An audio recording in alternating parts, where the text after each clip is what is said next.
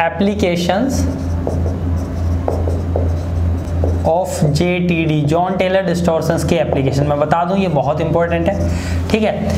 देखो, तीन टाइप की एप्लीकेशन होती है। पहला बात करूँ तो मैं पहली होती है स्ट्रक्चरल एप्लीकेशन क्या होती है? स्ट्रक्चरल एप्लीकेशंस दूसरी बात करूँ मैं तो दूसरी होती है मेरी स्पेक्ट्रो स्कोपिकल एप्लीकेशंस और तीसरी बात करूँ मैं, तीसरी होती है मेरी क्या? Reaction mechanism application reaction mechanism application देखो मैं बात करूँ जैम वालों की तो जैम वालों की सिलेबस में सिर्फ़ इतनी है, यही है। स्ट्रक्चरल एप्लीकेशन है। स्पेक्ट्रोस्कोपिकल एप्लीकेशंस नहीं होती, ये हम जनरली ऑर्गल डायग्राम में पढ़ेंगे। किसमें पढ़ेंगे? ऑर्गल डायग्राम में ये सब पढ़ेंगे। किसमें पढ़ेंगे? ऑर्गल डायग्राम तो नेट गेट गेट वालों को ये ये किसमें पढ़ेंगे? ऑर्गल डायग्राम में। ठीक है तो जैम वालों को इसकी ज़रूरत नहीं है। रिएक्टिव रिएक्शन मैकेनिज्म एप्लीकेशन की बात करूँ तो ये भी सिर्फ़ नेट गेट वाली है। जब मैं reaction mechanism of coordination compound पढ़ाऊँगा तो उसमें भी जेटीडी की बात करूँगा जेटीडी की एप्लीकेशन बताऊँगा inner sphere outer sphere mechanism वगैरह में। तो हमारी जो मेन है, वो बेसिकली ये दोनों आगे पढ़ ही लेंगे हम नेट गेट वाले। तो अभी हम ये स्ट्रक्चरल एप्लीकेशन की बात करते हैं कि स्ट्रक्चरल एप्लीकेशन में क्या क्या है। तो जेटीडी की हम सबसे पहली एप्लीकेशन पढ़ते हैं। स्ट्रक्चरल एप्लीकेशन और इसमें पहला है effect on bond length effect on bond length देखो, अब इफ़ेक्ट ऑन बॉन्ड लेंथ की बात करूँ तो कहीं ना कहीं ये तो हमने पढ़ लिया तो एक्चुअल में ये पढ़ ही लिया कि जेड आउट होते हैं तो क्या होते हैं? टू लॉन्ग फोर शॉर्ट ठीक है? और Z इन होते हैं तो फोर लॉन्ग टू शॉर्ट ठीक है? और इनकी स्पेशल केसेस भी देख लीजिए कहीं कहीं सेम हो जाती है तो क्यों हो जाती है? कहीं कहीं टू टू टू वाले केस बनते हैं तो टू क्यों बनते हैं? तो बेसिकली मैं कह सकता हूँ इफ़ेक्ट ऑन बॉन्ड लेंथ तो देख लिया। बात करूँ मैं effect on symmetry effect on symmetry क्या सिमेट्री में इफ़ेक्ट देख लिए मैंने कहा हाँ ये भी तो देख लिए कि lower down the symmetry lower down the symmetry JTD जो होते हैं, वो सिमेट्री को लोअर डाउन कर देते हैं। वो मैंने बताया था ऑक्टाहेड्रल से टेट्रागोनल डिस्टॉर्शंस ले आया। ठीक है? अब अगर मैं तीसरी बात करूँगा थर्मोडाइनमिक स्टेबिलिटी थर्मोडाइनमिक स्टेबिलिटी की बात करो तो मैंने बढ़ाया था कि जेटीडी हमेशा क्या करते हैं? गेन गेन कराते हैं। गेन या बोल दूँगा? इंक्रीज कराते हैं किसको? थर्मोडाइनमिक स्टेबिलिटी को। थर्मोडाइनमिक स्टेबिलिटी को। ठीक है? फोर्थ बात करूँ थर्ड फोर्थ बात करूँगा काइनेटिक स्टेबिलिटी के साथ क्या करते हैं? जो अभी तक मैंने बात नहीं करी इसकी, हमेशा मैं, जब मैंने डेफिनेशन लिखवाई थी तो थर्मोडाइनमिक स्टेबिलिटी पर मैंने बहुत फोकस किया था। तो काइनेटिक स्टेबिलिटी में क्या फ़र्क पड़ता है? देखो जेटीडी की बहुत अच्छी आदत क्या होती है कि ये थर्मोडाइनमिक स्टेबिलिटी को तो गेन कराते हैं, बढ़ाते हैं, पर काइनेटिक स्टेबिलिटी को घटा देते हैं। ठीक है? तो ये क्या कर देते हैं? Decrease in kinetic stability decrease in kinetic stability stability में डिक्रीमेंट हो जाता है जेटीडी होने से। होता क्या है? जो भी जेटीडी होता है, जिन भी कॉम्प्लेक्सेस में, वो क्या होते हैं? लेबाइल कॉम्प्लेक्स हो जाते हैं। क्या हो जाते हैं? लेबाइल कॉम्प्लेक्स यानी मोर रिएक्टिव कॉम्प्लेक्स हो जाते हैं। क्या हो जाते हैं? मोर रिएक्टिव कॉम्प्लेक्स हो जाते हैं। ठीक है, अगर मैं फिफ्थ की बात करूँ कि चार एप्लीकेशन तो मेरी होगी कि बॉन्ड लेंथ पे क्या फ़र्क पड़ेगा सिमेट्री पे फ़र्क क्या पड़ेगा थर्मोडाइनमिक स्टेबिलिटी पे क्या फ़र्क पड़ेगा काइनेटिक स्टेबिलिटी पर क्या फ़र्क पड़ेगा, ठीक है? अगर मैं बात करूँ ज्योमेट्री की बात कर लो, ठीक है? तो ज्योमेट्री या सिमेट्री एक ही बात है, इसको ज्योमेट्री को भी सिमेट्री से ही रिप्लेस कर दो।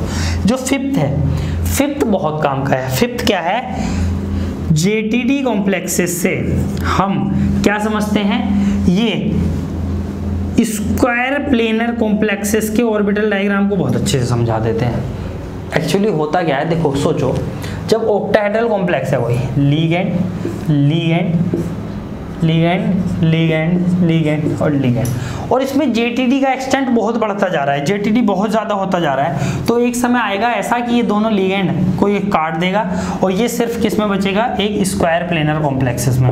किसमें बच जाएगा? एक स्क्वायर प्लेनर में. एक जेटीडी की वजह से एक ऑक्टाहेड्रल कॉम्प्लेक्स कन्वर्ट हो जाता है एक स्क्वायर प्लेनर में. तो जेटीडी ही हमें स्क्वायर प्लेनर के क्या बता देता है? ऑर्बिटल डायग्राम को समझाने में बहुत अच्छा होता है, ठीक है? तो ये इफ़ेक्ट ऑन ज्योमेट्री सिमेट्री बता सकते हैं। या अगर ज्योमेट्री के इफ़ेक्ट को अलग भी लिखना चाहो, इसको सिक्स कर दो। फिफ्थ ज्योमेट्री के इफ़ेक्ट को अलग लिखना चाहो इफ़ेक्ट ऑन ज्योमेट्री तो कह सकते हैं it distorted distorted the geometry ये ज्योमेट्री को क्या कर देता है? डिस्टोर्ट कर देता है। ठीक है? कभी कभी चेंज भी करता है। समटाइम चेंज समटाइम इतना डिस्टोर्ट कर देता है कि ज्योमेट्री चेंज ही हो जाती है। क्या हो जाती है? चेंज ही हो जाती है। चार्जनी चेंज हो जाती है। ज्योमेट्री क्या हो जाती है? चेंज हो जाती है। ठीक है? ये याद रखेंगे। और अब समझते हैं इसकी फिफ्थ वाली की जेटीडी स्क्वायर प्लेनर के ऑर्बिटल डायग्राम कैसे समझाता है। ठीक है? तो लिखो स्क्वायर प्लेनर के ऑर्बिटल डायग्राम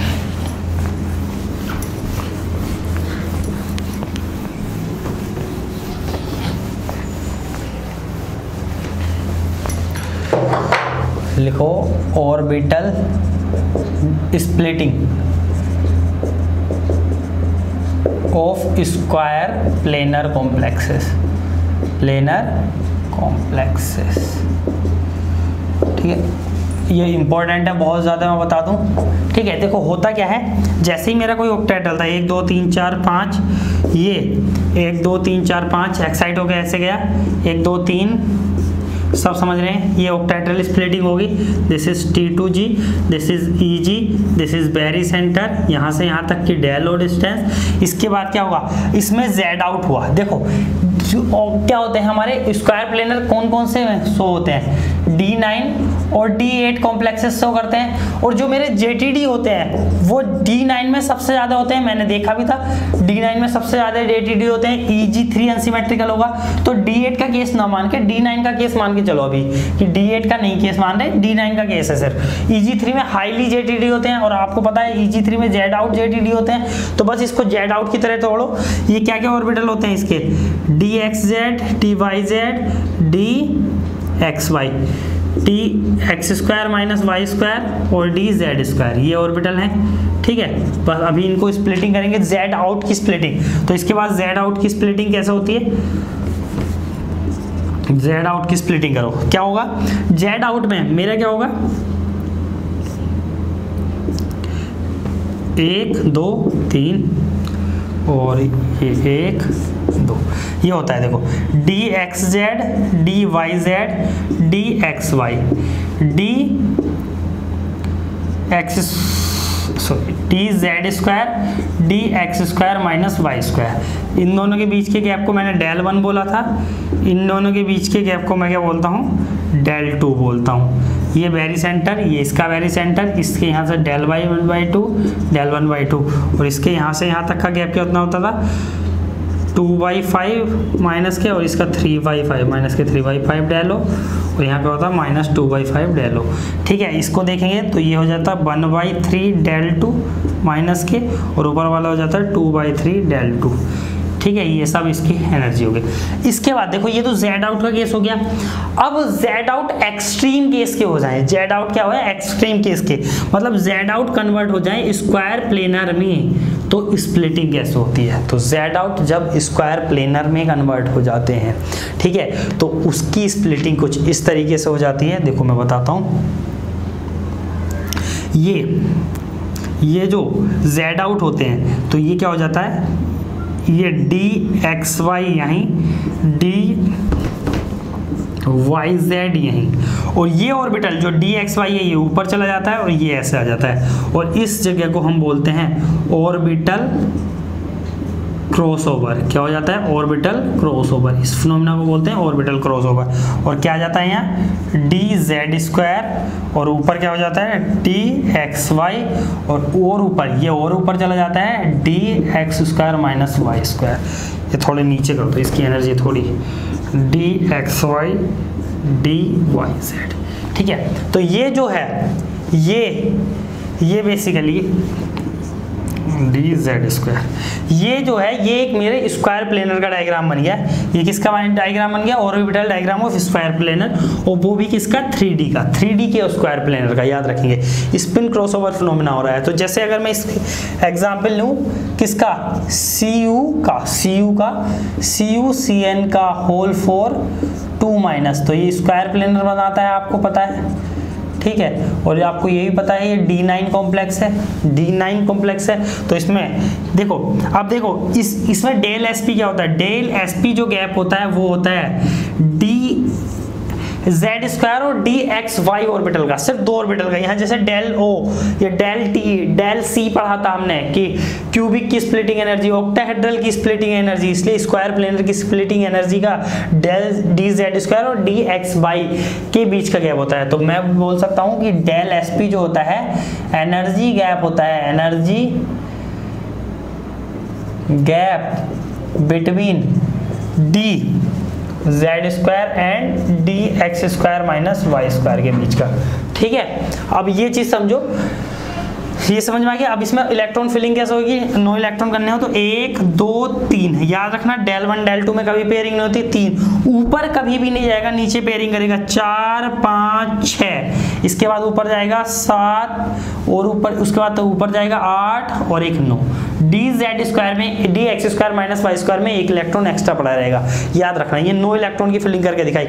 मतलब डी एल एस पी हमेशा किससे होता है? बड़ा होता है पेयरिंग एनर्जी से। डेल एस पी हमेशा बड़ा होगा पेयरिंग एनर्जी से हमेशा पेयरिंग ही पेयरिंग होगी। क्या होगी हमेशा पेयरिंग ही पेयरिंग होगी। और बड़ा हो भी क्यों ना? डेल एस पी बहुत बहुत बड़ा होता है डेल ओ से। और डेल ओ ही जब बड़ा था डेल सी से और डेल टी से तो सब जो डेल एस पी तो कितना ही बड़ा होगा, जब डेल ओ में ही बहुत सारे केसेस पेयरिंग वाले आ जाते थे। यहाँ तो हर केस में क्या होगी? पेयरिंग होगी। पर इन तीनों में, ये जो डेल वन डेल टू थे, इनमें कभी पेयरिंग नहीं होती। पहला, दूसरा, तीसरा हमेशा ऊपर जाएगा। याद रखना। अब ये तो थ्री का हो गया। और भी स्ट्रॉन्ग जेटीडी हो। क्योंकि देखो, हमने देखा था कि थ्री के केस में जेटीडी बहुत तेज होते हैं, लेकिन हमने देखा था कि थ्री के केस में आपको, उसके बाद देखा था हमने जो फोर और फाइव डी के जेटीडी थे फोर और फाइव के, नीचे वाले पीरियड्स के तो उनमें तो एक्सट्रीम केस ऑफ़ जेटीडी होता है तो मैं बोल सकता हूँ कि हाइयर केस ऑफ़ जेटीडी में, जो बात करूँ मैं स्क्वायर प्लेनर डायग्राम हो गए, किसके 4D और 5D के, वो तो और भी कुछ करेंगे और उसमें होता क्या है? उसमें ये होता है कि जो मेरा ये डी जेड स्क्वायर ऑर्बिटल है, ये क्रॉस ओवर कर जाता है। किसको क्रॉस ओवर कर जाता है? डी एक्स वाई और डी वाई जेड को। किसको क्रॉस ओवर कर जाता है? ऑर्बिटल क्रो ऑर्बिटल ओवरटेक कर लेता है सॉरी ऑर्बिटल ओवरटेकिंग हो जाती है किसकी?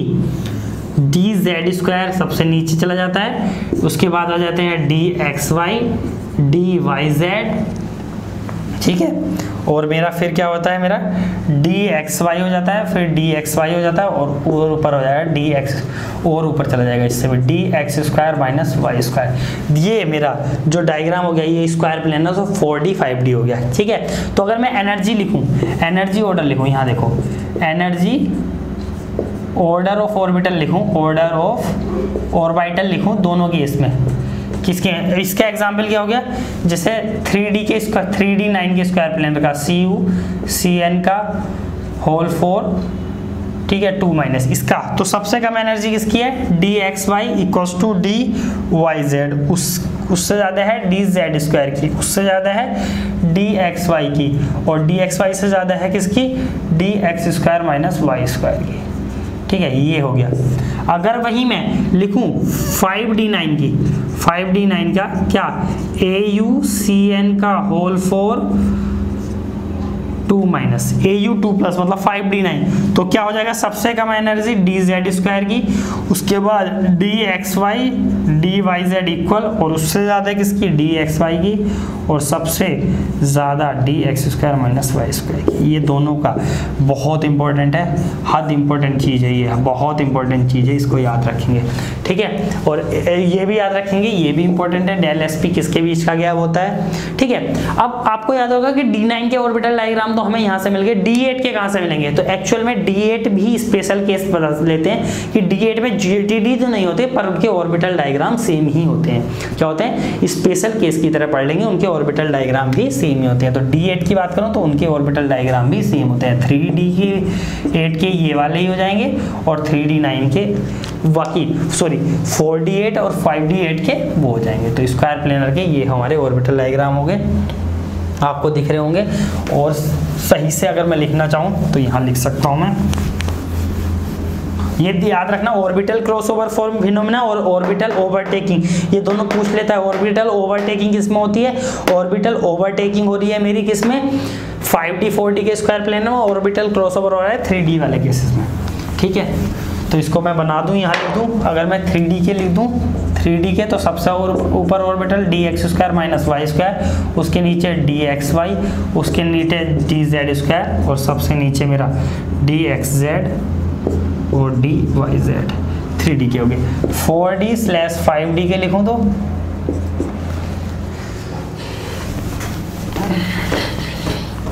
ठीक है तो फोर डी फाइव डी के क्या हो गए?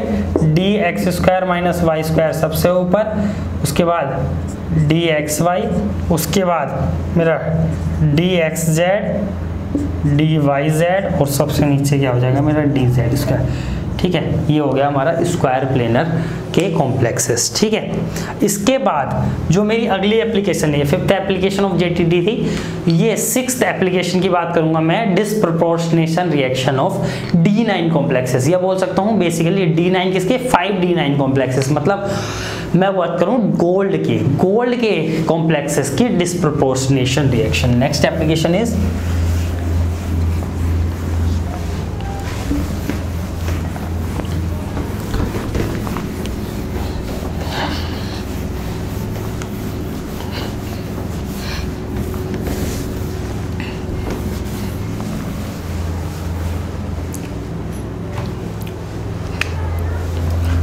next application is six seventh होगी। डिसप्रपोर्शनेशन रिएक्शन डिसप्रपोर्शनेशन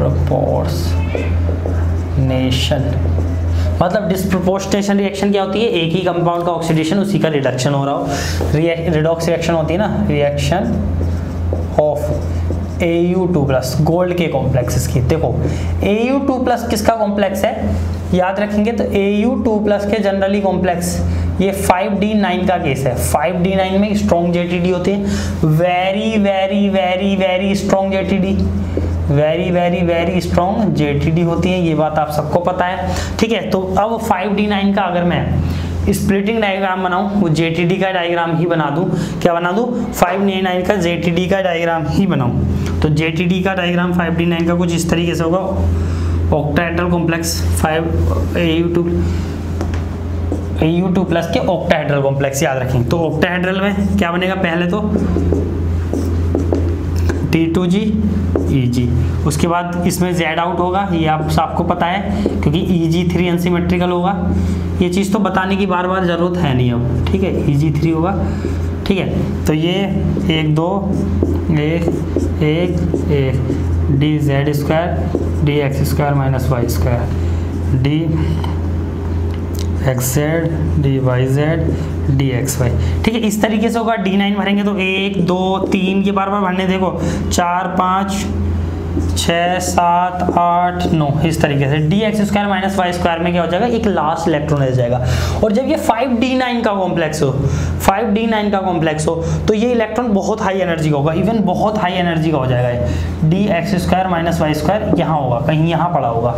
जब ये दूसरे से रिएक्ट करता है, ये बहुत ही क्या होगा D X square minus Y square का वेरी रिएक्टिव इलेक्ट्रॉन होगा। मैंने बताया है कि जेटीडी मेरे काइनेटिक रिएक्टिविटी को बढ़ा देते हैं वेरी रिएक्टिव इलेक्ट्रॉन होगा। जब दूसरा मेरा कॉम्प्लेक्स आता है ए का दूसरा ही ए यू टू प्लस का ऑक्टाहेड्रल कॉम्प्लेक्स आता है इधर से। ए यू टू प्लस का क्या होता है? ऑक्टाहेड्रल कॉम्प्लेक्स देखो, ऐसे देखो। दो, तीन, फिर इसको स्प्लिटिंग एक, दो, एक एक एक। ठीक है? मतलब ये D X square minus Y square D Z square D X Y D X Z D Y Z एक, दो, तीन, चार, पाँच, छ, सात, आठ नो मैं, मैंने यहाँ पेयरिंग क्यों कराई? नीचे ऊपर क्यों नहीं भेजा? क्योंकि एयू पे सारे ही 5D ऑक्टाहेड्रल में सारे ही लिगेंड कोई सा भी लिगेंड हो एयू के साथ कोई सा भी लिगेंड आएगा। जैसे इसको लिख सकते हैं A U L six two plus ये कॉम्प्लेक्स मान लो ऑक्टाहेड्रल हो गया।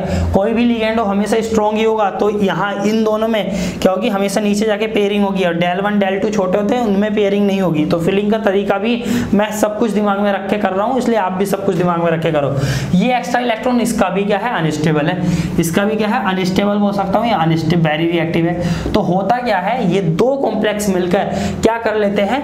डिस्प्रोपोर्शनेशन रिएक्शन कर लेते हैं और ये इलेक्ट्रॉन यहाँ से जाके यहाँ चला जाता है।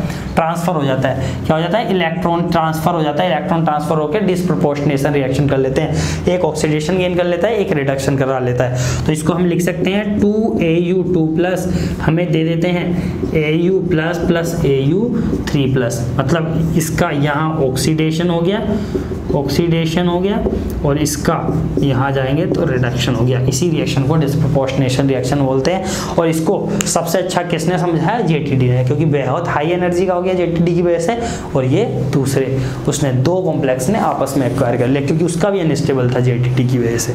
ठीक है, इसके बाद बात करता हूँ मैं। ये हमारी जेडीडी की एप्लीकेशन यही होगी देखो, एक चीज़ की एप्लीकेशन रह रही है application of C F S crystal field stabilisation energy की बहुत काम की एप्लीकेशन है। वो देख लेते हैं कि लेटिस एनर्जी और मेरी हाइड्रेशन एनर्जी आयनिक रेडियाई इन सब पर भी मेरी सी एफ़ एस सी फ़र्क डालती है। वो कैसे डालती है? तो वो देखते हैं अगले लेक्चर में।